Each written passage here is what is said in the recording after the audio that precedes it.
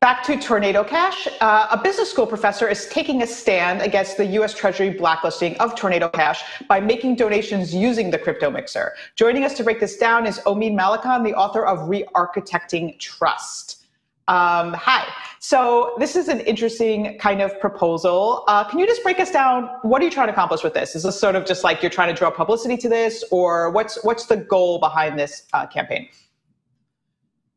The goal was to make the point that in crypto, transparency, total transparency is actually the default state, unlike, say, if you make a payment through a bank. So then, if someone decides to use a privacy protocol like Tornado Cash um, to block some of the details of their uh, whatever it is that they're doing on the blockchain, there are an infinite number of applications where this would be completely innocuous, where the reasons why someone might want financial privacy um, are the kind of thing that almost anybody can agree with, including people who, who work in the US government. So I made two donations one to Planned Parenthood and one to a secret group of Russians that are helping Ukrainian refugees in order to make the point that if protocols like Tornado Cash are not allowed to exist, then all of these legitimate applications of blockchain go away.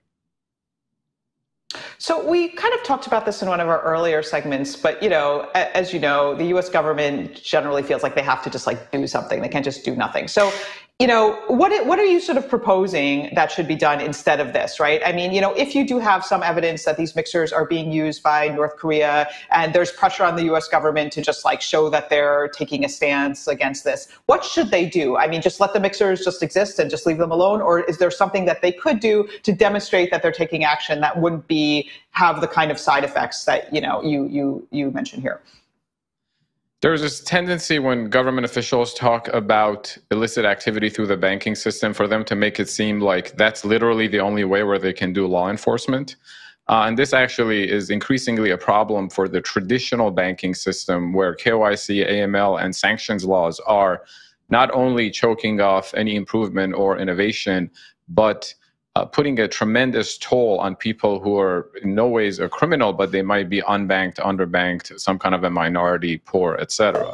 So I think if the U.S. government wants to stop North Korea from doing bad things, uh, and by the way, I'm, I'm never sold when someone comes and says, but this is being abused by North Korea. I, I'm no expert on hacking and cybersecurity, but I imagine it's not always clear who's doing what. That said, there are a lot of very smart people who work in places like the FBI. They have many resources to prevent illicit activity. And a lot of times, the data trail that blockchain produces, even if you go through a mixer like Tornado Cash, is enough evidence for them to go and do law enforcement through other means.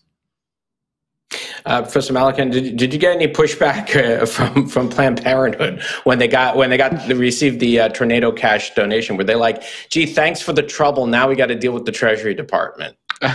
You, did us no I, favors.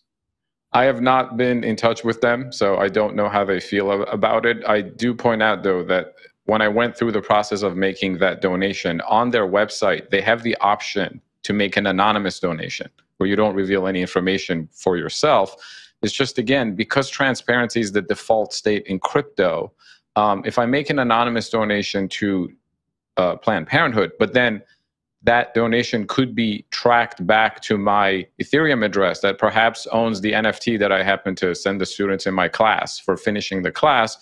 Now I've completely de anonymized myself to the general public. And there are many legitimate use cases where people who are not doing anything illegal would want that kind of privacy. All right, just briefly, uh, I guess this is a simple question. You talked about a Russian secret group that is donating the, for the Ukrainian cause.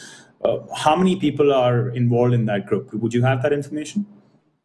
I don't. To be honest, I don't know that much about them. But what I do know is given the political situation in Russia right now, having privacy is actually paramount for the safety of that group.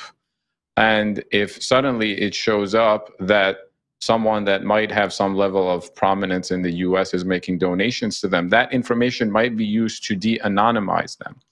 Uh, I point out that Vitalik Buterin also, long before these sanctions, used Tornado Cash to make donations to the Ukrainian cause, which he publicly supports. So he wasn't risking revealing anything about himself that could be bad for him. But he wisely realized that if it becomes revealed that a very prominent, wealthy Westerner like Vitalik is donating money to a certain group, that might be bad for that group.